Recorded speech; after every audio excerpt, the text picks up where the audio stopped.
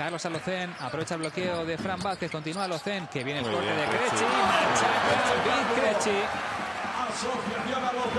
En esa línea de fondo